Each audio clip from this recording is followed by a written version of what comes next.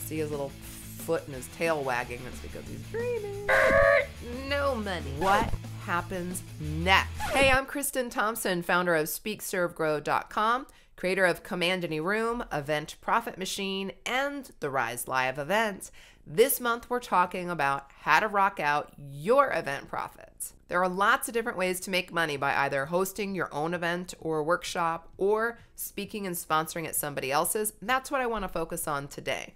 The sponsorship model has taken off like wildfire, and that's great. And it's also a little bit scary because before you invest your hard earned money and time speaking and sponsoring at somebody else's event, there's definitely some things you want to know ahead of time. Speaking at somebody else's event can give you authority, just like hosting your own event can, especially if the person whose event it is has authority.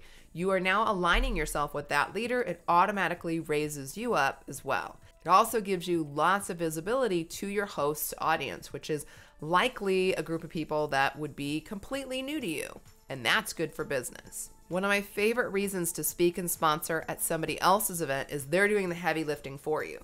So you don't have to fill that room. They fill the room and boom, you just pop out in front of it. I was going to say like Marilyn Monroe out of a birthday cake, but I don't think that actually happened. I made that up. But yeah, you just kind of pop out in front of the audience and you get the benefit of all of your host hard work filling that room. Makes sense? Oftentimes, when you speak and sponsor someone else's event, you get in front of a bigger audience. I know that was one of my goals when I first started sponsoring was to get a outside of Portland and start getting national exposure. And I was able to get in front of big rooms with, you know, 700 or 1,000 people that I could not have filled on my own. So getting in front of bigger audiences and also wider audiences from maybe across the nation or across the world is also a great benefit. And lastly, of course, you can make sales.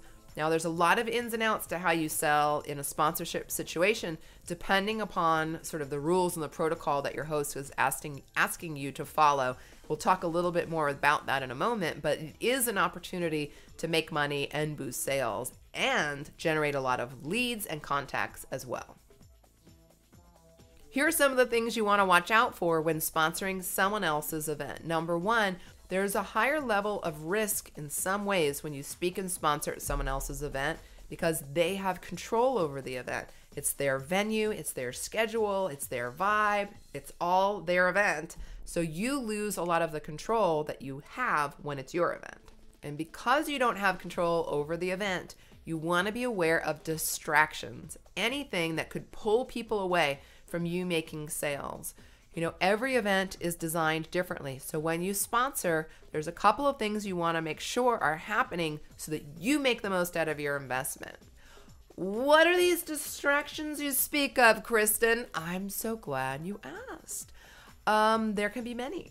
so, a couple of things. We go into a lot of detail in Event Profit Machine on this, but let me boil it down to the most important things that you want to think about what happens immediately following your talk? If you speak, let's say um, you speak at somebody's event, you have an hour to talk. At the end of that hour, one of the things you want to know is what happens next? What happens next either makes you more money or no money. So, is there a parade that happens next? is there a dance party that happens next?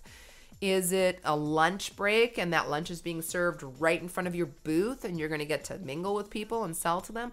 Either the thing that happens next is that you're able to drive people to your booth or you're able to hang out in the room and there's a break and you can connect and answer questions and close sales.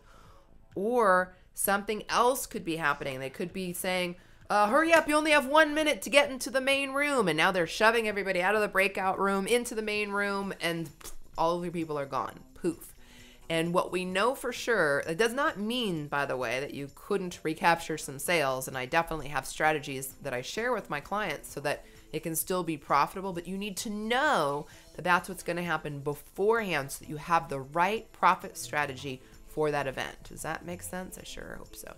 By the way, Rocky is having a nightmare in the background. So if you hear groaning and you see, wait, he's over there, see his little foot and his tail wagging, it's because he's dreaming. You need to know if you have the ability to make a direct offer in the room or if you can't. Again, this changes our strategy. Um, you want to know where your booth is located. If you have a booth, which generally you will, if you're a sponsor, you're going to have time to speak and you're going to have a booth that you get to set up so you can connect with people. Where is that booth in relationship to where you will be speaking? Where is that booth in relationship to the main speaking area? If you're in a breakout room, that's different than speaking on the main stage. So you want to know where your booth is in relationship to where you speak and where the main event is happening. These are all things that either support you making more money or make it harder for people to connect with you. These are just a few tips to give you a quick jump start on how you could start making money speaking and sponsoring at somebody else's event. Remember, you're going to get a lot of authority, a lot of visibility, and the benefit of getting up in front of somebody else's audience. They did the heavy lifting. You come in, you're going to give a great rock and talk, you're going to offer your entry level product or program, and you're going to make sure you have the right strategy and the right path so that you can drive people to your booth, to your order forms, so you can close them right then and there. Until we meet again, I'm Kristin Thompson with SpeakServeGrow.com. Go out there and rock your brand, rock your talk, and rock your biz.